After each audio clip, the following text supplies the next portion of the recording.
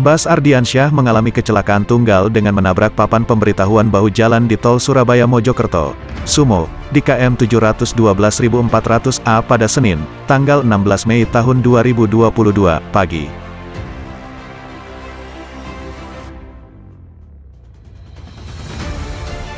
Kejadian nahas ini dikabarkan merenggut nyawa 13 orang penumpang.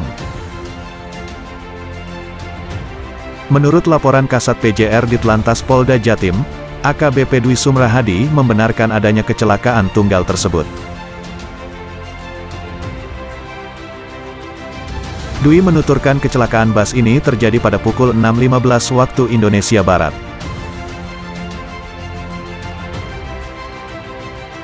Dirinya mengungkapkan bus tersebut berisi 25 orang penumpang. Akibat kecelakaan tersebut, hingga saat ini, Dwi mengatakan korban tewas sebanyak 13 orang dan 12 orang lainnya dikabarkan mengalami luka berat.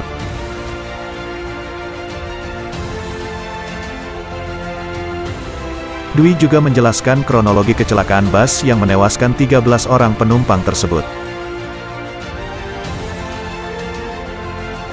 Kejadian nahas itu bermula saat bus yang membawa penumpang kurang lebih 25 orang itu melaju dari arah Yogyakarta menuju Surabaya.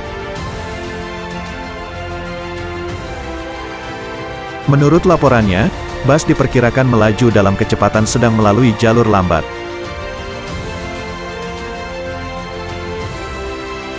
Saat sampai di KM 712200A, Bus tiba-tiba oleng ke kiri dan menabrak tiang pemberitahuan atau Variable Message Sign, VMS, di pinggir bahu jalan tol, sehingga terguling.